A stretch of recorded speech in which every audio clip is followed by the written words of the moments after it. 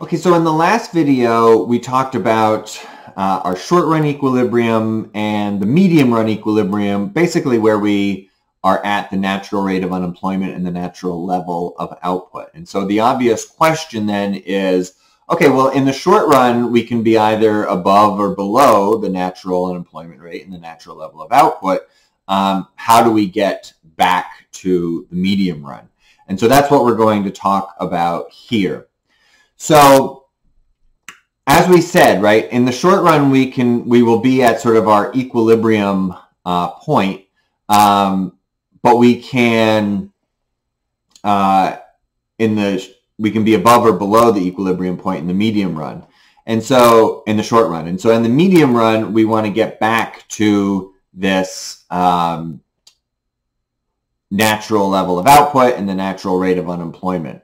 And so the key here is that um, one way that that's going to happen, right, is that inflation is going to adjust, and we're going to get back to the real interest rate that is associated with the natural level of output, right? So if the LM curve uh, shifts up or down, that will change the real interest rate, and there will be some level of the real interest rate that is associated with the natural level of uh, output.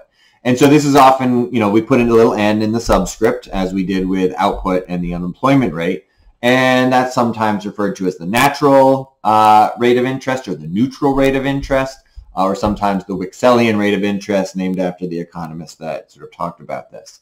Um, and so if the Federal Reserve is trying to think about, okay, well, what is the um, interest rate the target policy rate that is associated with constant inflation, right? The same level of inflation this year as last year, then they need to figure out what this natural rate of interest RN is.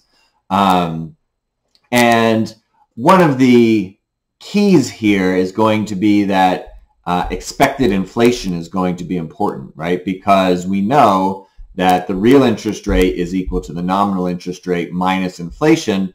And if the expected interest rate is high, then that's going to mean that the nominal interest rate has to be high. And if the expected inflation rate is low, then the nominal interest rate uh, can be lower, assuming that this sort of RN is fixed by real factors, right? By, you know, things like technological growth, by things in the labor market, um, and so that's obviously an important question that we have to think about. We have to think about, all right, well, what is that uh, RN? Okay, so let's think about if we have anchored expectations. And by anchored expectations, what we mean is that people expect uh, constant uh, inflation, right? Now, anchored expectations could be anything. They could be zero, they could be 2%, they could be 10%, they could be 15%.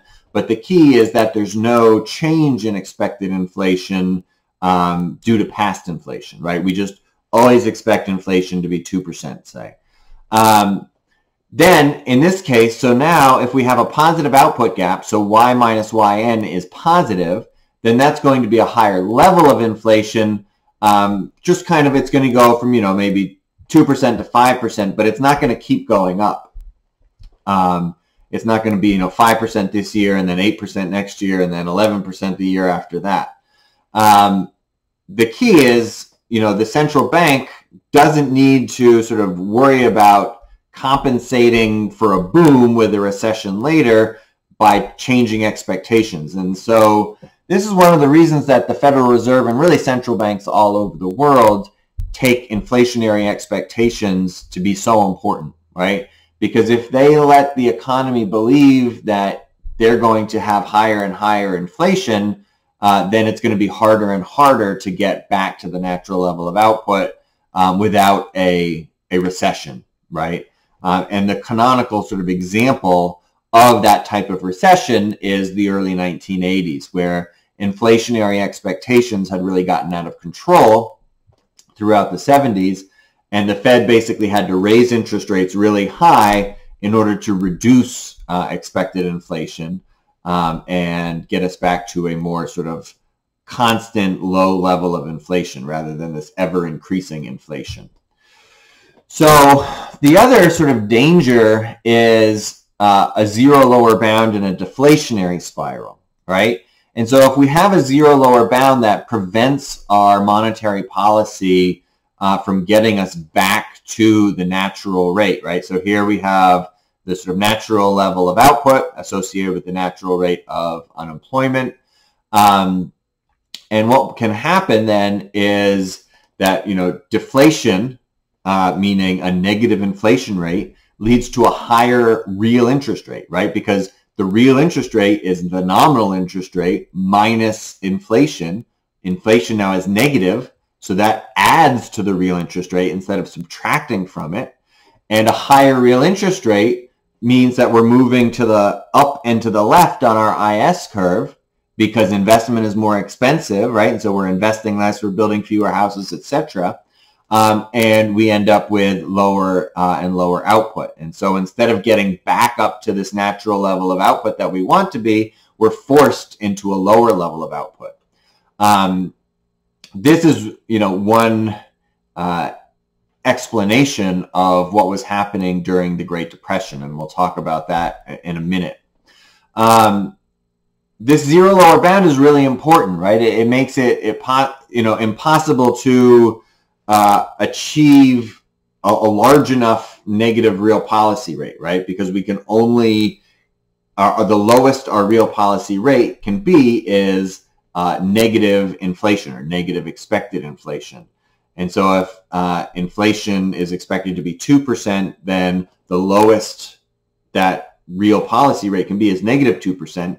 And when it's when we have deflation, right now it's negative and negative. So if we expect, uh, you know, inflation to be negative 3%, now our real policy rate is 3% instead of, you know, zero or minus 3%. Um, and so that's a, that can be a big problem. And it's one of the reasons that some economists have suggested that we need a higher inflation target, right? So instead of a 2% inflation target, which is fairly common um, among central banks around the world, we should have a 4% inflation target or something like that. So let's look at the Great Depression now. Um, this really sort of seems to have uh, been a, a perfect example of a deflationary trap between the sort of start of the Great Depression in 1929 when we had the stock market crash and the real bottom of the Great Depression, which happened around 1933, right? It took us still another sort of seven to eight years to climb out of the Great Depression um, with some ups and downs along the way, but 1933 certainly seems to be the bottom. So let's look at that. So the unemployment rate was quite low in 1929, right? It was the end of the roaring 20s. The uh, economy seemed to be doing really well. We have the stock market crash. Output falls. Um, and the inflation rate is base is zero um, in 1929. So then, uh, and then we can sort of calculate the the real interest rate, right? Is the nominal interest rate was 5.3 percent, inflation was zero, so 5.3 minus zero is 5.3.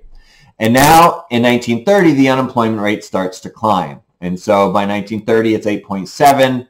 Um, and it keeps climbing until 1933. It's about 25%, right? So you know, even worse um, than, you know, significantly worse than the financial crisis and the Great Recession, um, and really significantly worse even than the COVID pandemic um, because it lasted so so long. Um, and so what's happening here is output continues to shrink, right? So we're getting farther and farther away from our natural level of output. Um, the nominal interest rates for some reason are not dropped fast enough, right? This is one of the criticisms of Federal Reserve policy is that they didn't drop the nominal interest rates fast enough. So they're 4.4%, 3.1%, back up to 4.0%, uh, and then 2.6% in 1933.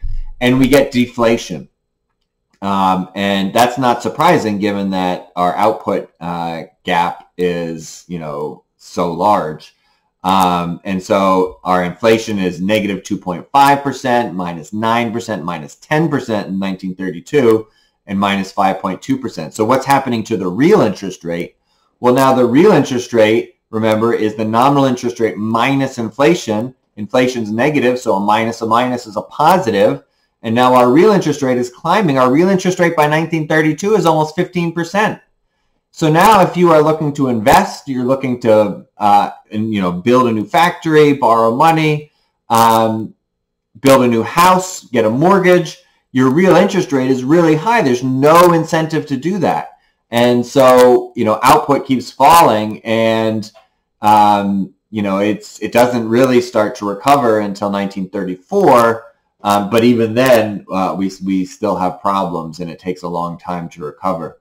Um, so, you know, one of the lessons learned from the Great Depression uh, by the Federal Reserve was to drop nominal interest rates to zero um, immediately, basically. So by the end of 2008, the federal funds rate target is zero. Um, and to try to keep away from deflation. So we ended up with one year of a small amount of deflation in 2009. Um, that was somewhat related to uh, food prices, uh, global food prices. Um, but then we had sort of positive but low inflation in years after that. And so our real interest rate um, was not was negative, right? It wasn't very negative, but it was uh, negative, and so that's important.